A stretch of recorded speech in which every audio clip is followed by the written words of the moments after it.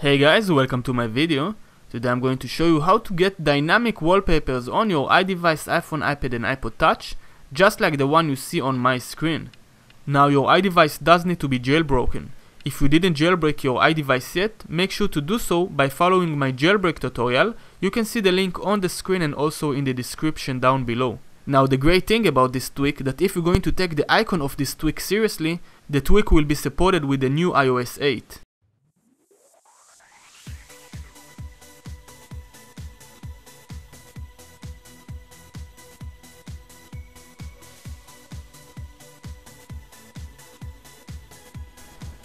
On your iDevice, launch Cydia, click search and type in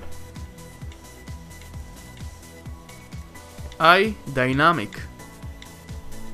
Click search and then click on the first result on this page.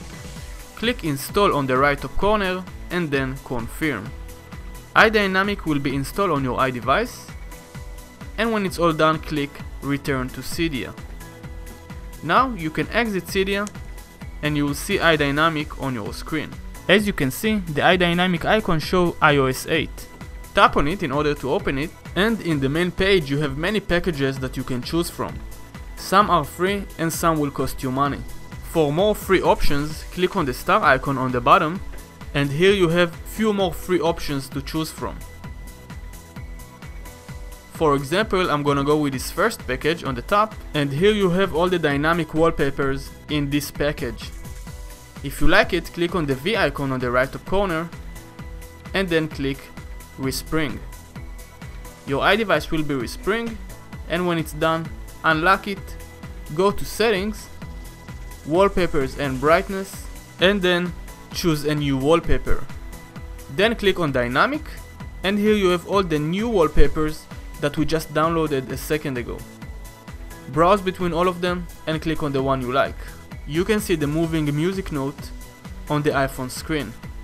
If you like it, click set and then you have the option to choose it as your lock screen, your home screen or both. I'm gonna go with home screen only. As you can see, this is my new background and you can see it clearly on the empty page. Let's check another package by relaunch iDynamic and now I'm gonna go with this nice blue package with the stars. Again click on the V icon on the right, then click respring and then choose dynamic. Here you have all the wallpapers that we downloaded a few minutes ago along with the new one that we just downloaded now. Browse between all of them and click on the one you like. Click set and now I'm gonna choose it as my lock screen and my home screen as well by clicking both. Now you're going to see the new dynamic wallpaper on your iDevice on the lock screen and on the springboard as well.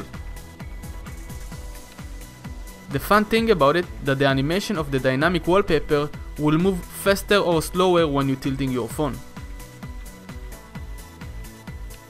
Alright guys, if you found this tutorial helpful, please like the video and share it with your friends.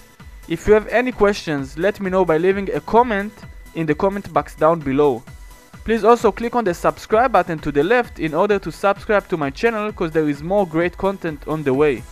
Please check my other tutorials over here down below and follow me on the social networks. I will see you all in my next video. Bye.